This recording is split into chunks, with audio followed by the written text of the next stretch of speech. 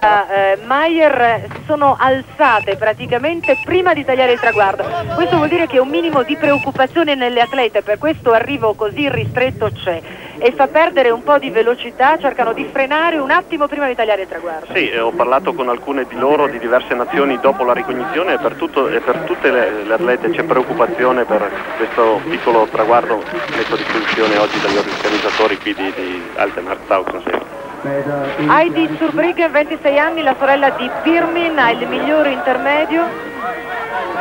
Vedremo se saprà continuare nella sua azione efficace nella parte conclusiva del tracciato, quella che ha un livello tecnico maggiore.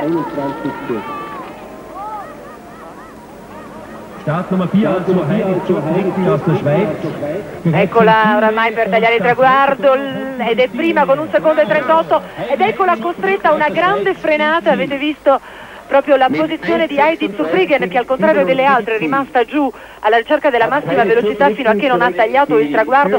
Già l'anno scorso avevamo avuto modo in telecronaca di sottolineare la pericolosità di alcuni arrivi, eh, uno per tutti, quello di Haus.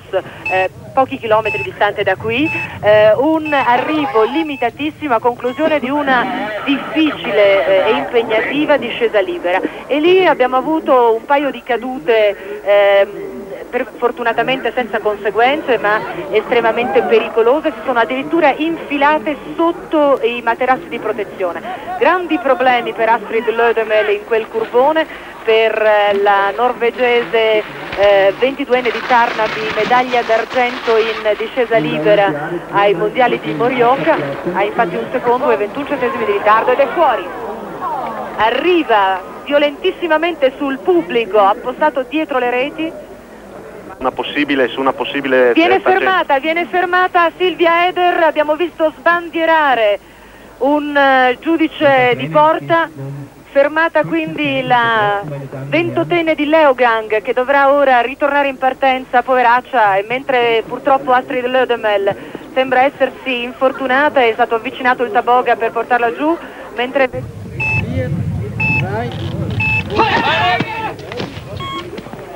e dovremo ora vederla comparire in diretta. Il primo tornante ed è fuori.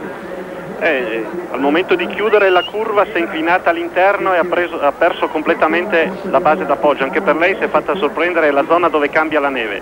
E non è, non è facile, si passa da una situazione di neve eh, di fondo duro classico invernale ad un fondo liscio di neve... Ösler 20 anni di Schnellröth. Deborah diceva qui ieri quando abbiamo fatto sciata libera in pista c'era il parcheggio. Non si sapeva bene dove avrebbero piazzato il traguardo e poi miracolosamente è comparsa la neve, ma forse ne è comparsa troppo poche anche per la Hösle, nello stesso punto dove è uscita la nostra Deborah Compagnoni, una caduta, eh, mentre Martina Ertel viene riproposta il cancelletto nella, nella, parte registrata ed ora la andiamo a ritrovare dopo una cinquantina di secondi. La ventenne di Lengrier, anche lei è fuori nelle reti e le distrugge.